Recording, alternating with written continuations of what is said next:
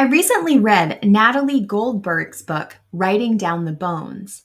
And if you need a writing craft book that will point out your insecurities and help you see how all the writing adjacent stuff you're doing to prepare for writing is actually stopping you from your writing, I recommend reading this piece of work, especially if you want to write but haven't started, or if you're feeling self conscious about a piece of writing in progress or on submission.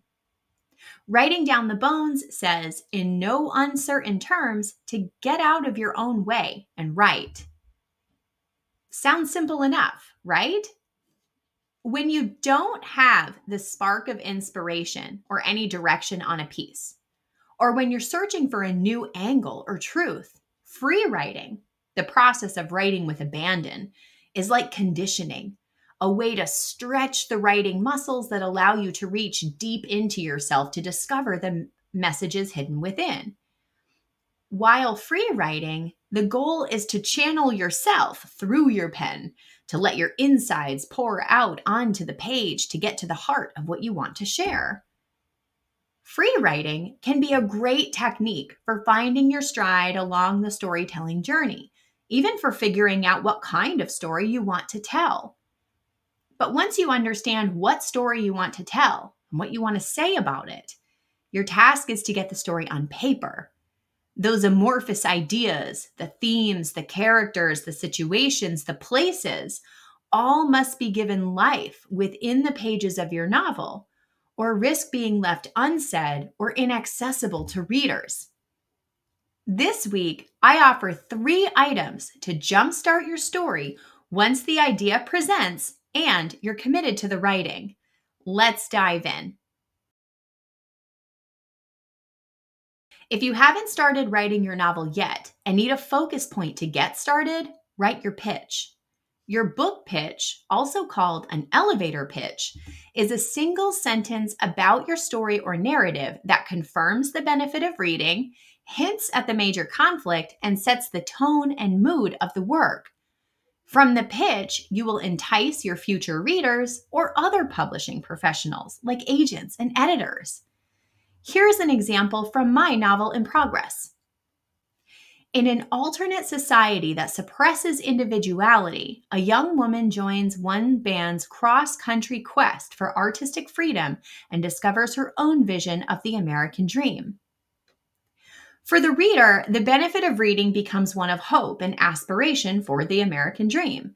The reader knows the major conflict is hero versus society or individuality versus conformity, and the tone is socially critical while the mood is aspirational. For me, though, the pitch tells me exactly what kind of story I'm writing. I suspect you have a feel for the kind of story you may read within these pages, perhaps one that is hopeful, serious in nature, likely exploratory and philosophical. You know, when I'm finally finished writing said pages. While you're welcome to use my imperfect example pitch to pen your own pitch sentence, your television may also provide some great inspiration. When you're scrolling Netflix, take a few minutes to write down three to five compelling pitches for movies to use as creativity fuel later. The pitches should intrigue you, make you interested in watching. What is it doing for you? What elements can you pull out of your Netflix or other streaming platform examples?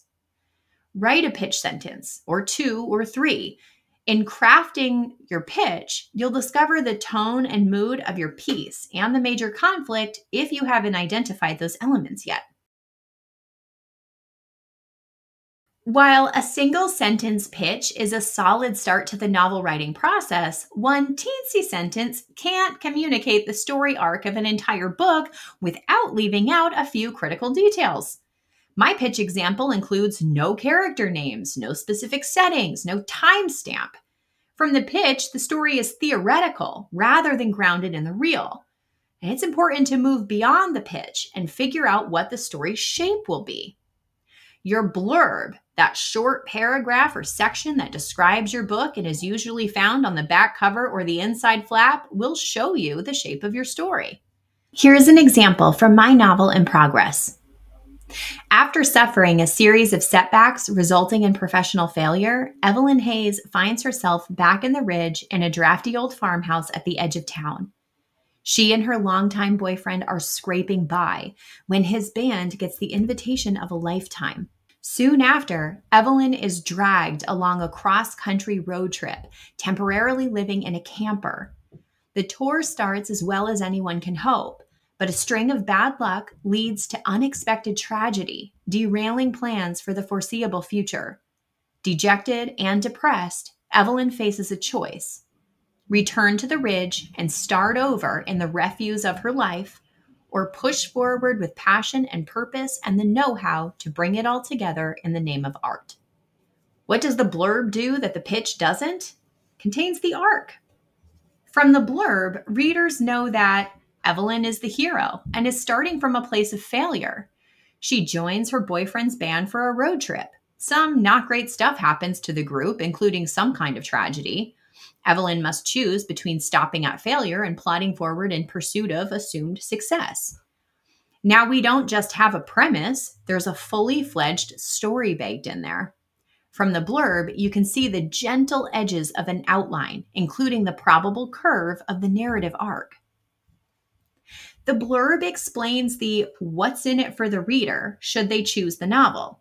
And while my blurb example may not be worthy copy for the back cover or inside flap, it provides me with enough narrative fuel to see my story from beginning to end. You have your pitch, you've constructed your blurb. They're good. You got what you needed from those items. So, what's left? Scenes. A novel is simply a collection of scenes following common characters and a common narrative thread. When I need to work out a few scenes so that I can sit down and start writing right away, I use the Friends model. If you watched Friends while it was on cable or watch reruns of the sitcom now, you may have noticed all the episodes are titled similarly the one with or the one where, enter object or situation. When scratching out the basics of scenes, I use the same method the one where Evelyn and Reggie arrive and see the house for the first time, the one where Evelyn, ironically, lives the dream, the one where Evelyn gets a job. You get the idea. The best part of this method is that you don't need to scratch out more than five or so the one where scenes to start seeing the momentum apparent in your writing. From the scene bits, there's movement. The characters are not stagnant, they're doing stuff, noticing things, being people. Writing down a few the one where scenes is expansive enough for the pantser within and coordinated enough for the inner plotter. For me, it's a happy medium between order and chaos. There's enough for me to chew on every scene, so I stay within a logical story structure. And since the statements are brief, there's also plenty of room for me to stretch my creativity. If you're having trouble getting started with your novel, write an elevator pitch, a blurb paragraph, and a few the one where scenes. Once you have the momentum you need from writing, you can ride out the rest of the journey. Don't forget to like, subscribe, and share this video if you found it helpful. And I've placed a link in the Metastellar text article on the website for you if you want to explore more of the Friends naming convention for scenes. Happy writing!